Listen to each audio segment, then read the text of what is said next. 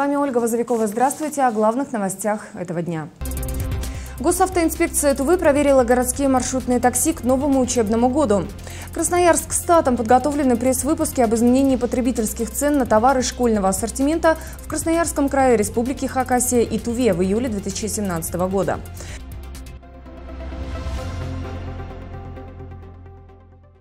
Об этих и других новостях подробнее прямо сейчас. До начала учебного года осталось две недели. Вопрос безопасности перевозки детей всегда стоит очень остро, так как большинство детей добираются до школы на маршрутках и автобусах. Так, в рамках рейда «Маршрутка» дорожные полицейские Кызыла проверили готовность городских транспортных средств к перевозке детей. Это улица Красноармейска, на которой расположены две школы Кызыла, первая и пятнадцатая. Как видно, здесь обновленный пешеходный переход, ограждение и светофоры формы Т-7. Несмотря на то, что вдоль дорог установлены соответствующие предупреждающие для водителей дорожные знаки «Осторожно, дети, избавь скорость», на деле от самих детей, переходящих проезжую часть, можно ожидать чего угодно. В дорожно-транспортных происшествиях, происходящих с участием детей, а, виноваты как водители транспортных средств, которые превышают скоростной режим, не пропускают а, пешеходов, а, также и дети, которые внезапно выбегают на проезжую часть, переходят дорогу вне зоны пешеходного перехода. Зачастую бывает так, что в ДТП страдает ребенок-пассажир, который перевозится в транспортном средстве без специального детского э, удерживающего устройства. К сожалению, родители э, таким необходимым и очень важным эм, э, предметом, средством передвижения пренебрегают, что приводит к травматизму.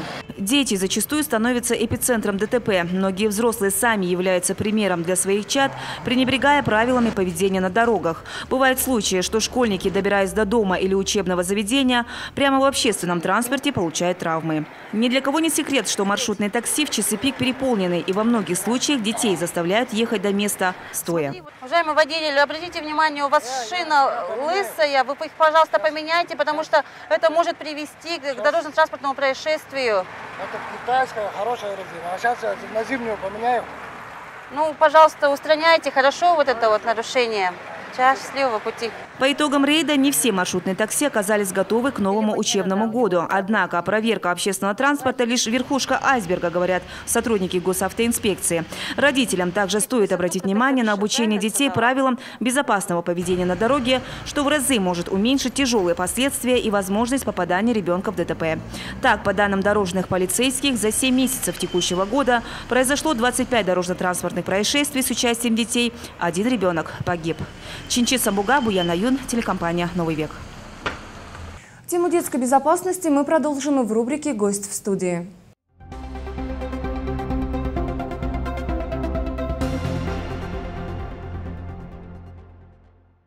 Сегодня мы поговорим о детском травматизме. Гость в студии – старший инспектор отделения организации деятельности по делам несовершеннолетних МВД по Туве Майя Булереш. Майя, здравствуйте. Здравствуйте. Дети – это дети, они находятся постоянно в движении. И э, не всегда получается у родителей следить за ними 24 часа в сутки. Сегодня мы постараемся вместе с вами дать рекомендации родителям, как же все-таки уберечь своих детей от детского травматизма. Но давайте сначала определимся, что является детским травматизмом травматизмом?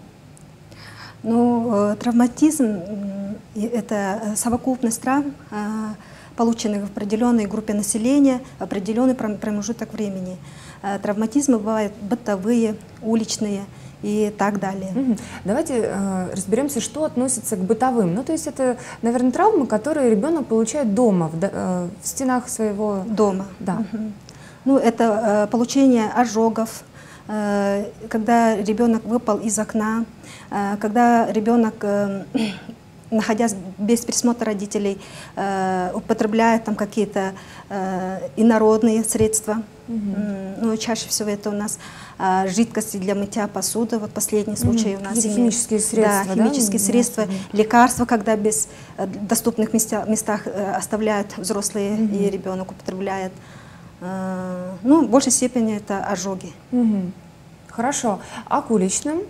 А уличные – это когда ребенок без присмотра родителей э, получает травму на улице. Это, ну, допустим, идет купаться один или с, сосед, с соседними э, малолетними детьми, э, или э, играя получает на улице или во дворе травмы различные. Шел, шел, упал. примерно так. Хорошо. А какова статистика? Вот э, в бытовых условиях, получается, дети у нас в Туве больше получают ожогов. А на втором месте какие травмы? Но именно если брать статистику этого года, у нас mm участились случаи утопления детей э, на водах. Это в летнее время? Это летнее время. Mm И всего у нас было зарегистрировано за этот летний период э, 8 случаев утопления детей именно э, на воде. Во всех ли случаях дети в это время были одни или э, присмотр родителей тоже имел место быть? Никак нет. Во всех случаях дети э, были э, без присмотра взрослых лиц, самостоятельно, mm-hmm. ну и с группой несовершеннолетних. Mm-hmm. Какой возраст этих детей? Самому маленькому три года. Этот случай был в селе Байхак Тантынского района. Mm-hmm. Ребенок без присмотра родителей с малолетними детьми такого же возраста, трех-четырех лет, играли на улице и во время игры упал в колодец и утонул. Ну и самому старшему 15 лет. В городе Козеле в реке Енисей утонул.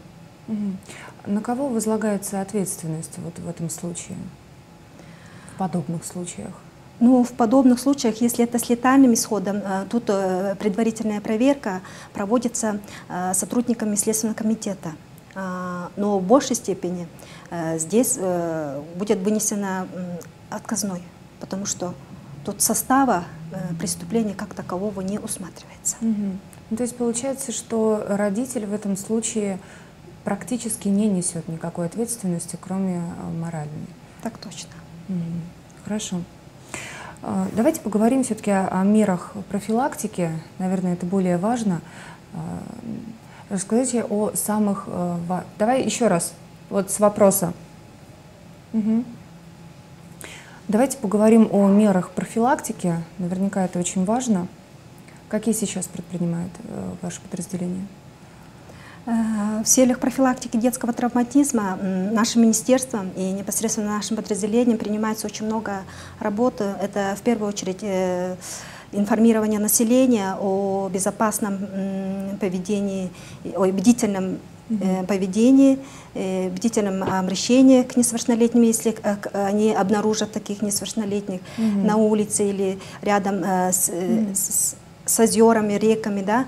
А, а давайте прямо сейчас скажем, куда необходимо обратиться в случае, если вот увидели такого безнадзорного ребенка, например, на озере.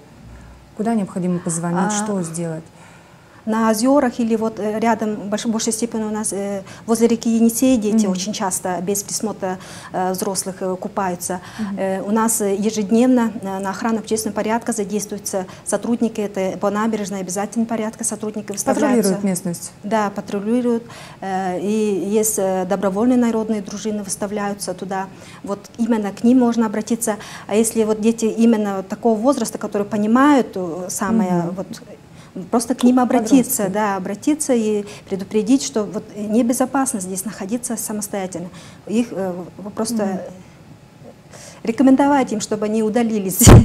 Интересно, а всегда ли дети следуют советам народных дружинников, инспекторов? Ну, если это человек в форме, если это mm взрослый человек будет обращаться, mm конечно, это mm в моем случае тоже такое было, что вот набережной мы патрулировали, дети, трое детей, э, рядом велосипед без присмотра был оставлен, купались, мы обратились, они сразу же удалились. Угу. Какие еще меры профилактики проводите? А, может быть, акции какие-то выездные а, по безопасности на воде? Ну, это у нас ежегодно проводится совместно с субъектами системы профилактики mm -hmm. нашей республики. Это э, социальные службы, э, учреждения здравоохранения, педагоги школ, ну и МЧС сотрудниками МЧС у нас проводится. В связи с, вот, с участившими случаями несчастных случаев у нас даже была объявлена акция «Месячник безопасности» с правительством тоже вот именно по квартирно адресные обходы mm. были сделаны в дома mm. с предупреждением родителей, что Интересно, а как вы выбираете, в какую квартиру э, нужно э, зайти, а в какую создаются, создаются рейдовые группы mm -hmm. и распределяются по участкам Ну и Но через вы пытаетесь охватить практически всех, Да. или это только э, дети, э, семьи, например, с многодетными семьями, детьми? Да, ну, группа семьями? риска, да. Ну, в большей степени, конечно, внимание определенное именно вот таким семьям группы риска или неблагополучные семьи, да, социально неблагополучные семьи, малолетние дет- э, с детьми. Ну да, в большей степени таких. Но это все социальный паспорт же в каждой администрации, в каждом суммонной администрации имеется, и вот так создаются э, рейдовые группы. Ваша работа видна и важна, безусловно. Проводит работу школа, детские учреждения. Но что вы можете порекомендовать родителям а, сделать, либо, может быть, сказать в рамках э, своей семьи, а, стен своего дома? Ну, сохранение здоровья ребенка – это задача каждого родителя. Э, Каждый родитель должен осознавать, э, что создание безопасных условий для воспитания, для содержания своего ребенка – это э, задача взрослых лиц.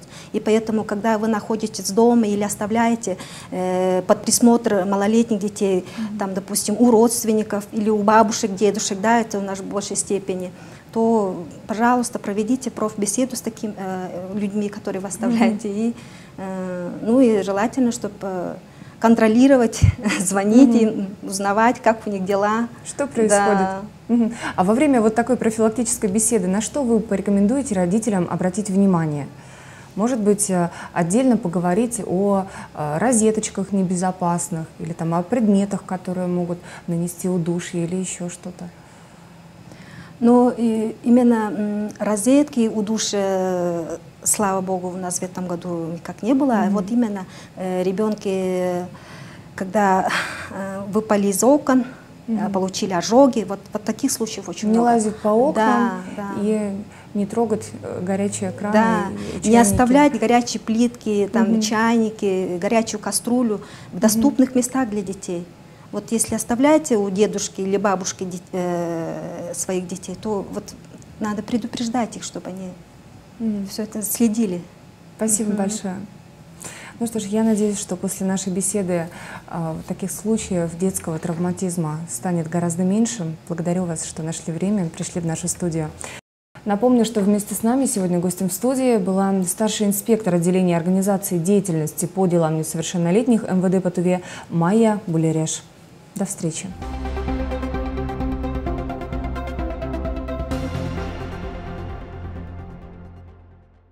Красноярск статом подготовлены пресс-выпуски об изменении потребительских цен на товары школьного ассортимента в Красноярском крае Республики Хакасия и Туве в июле 2017 года.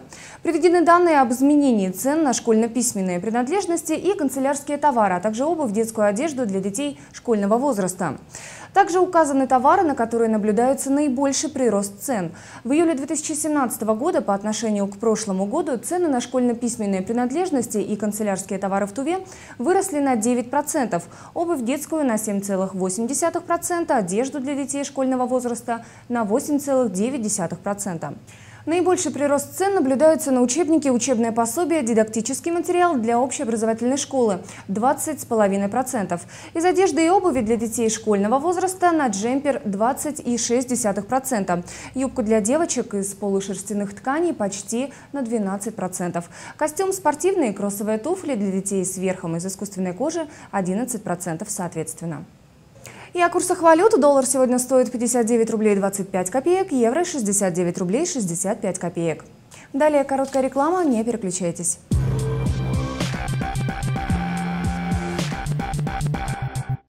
Сумки в роддом, подушки для отдыха, магазин для будущих и кормящих мам 9 месяцев.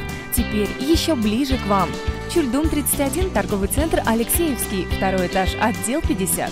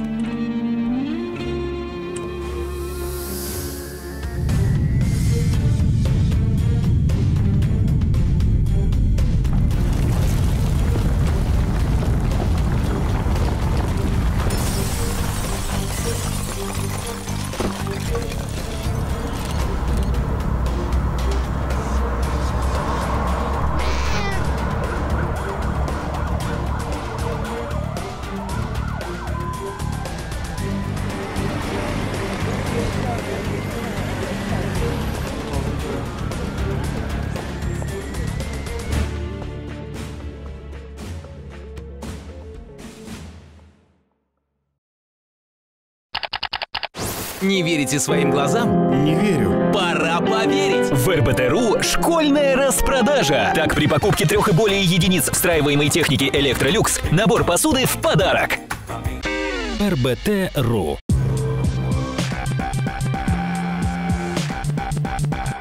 Далее вы увидите дайджест новостей, где собраны самые интересные события уходящей недели. Самым масштабным мероприятием прошедшей недели стал «Надом-2017». В местечке Тузбулак прошел чемпионат республики по конным скачкам. Всего в скачках приняли участие около 400 всадников по разным дистанциям – 10, 20 и 40 километров. Третье место занял рыжий конь Аяса Мангуша из села Шамбалы Козылского района – приз 50 тысяч рублей.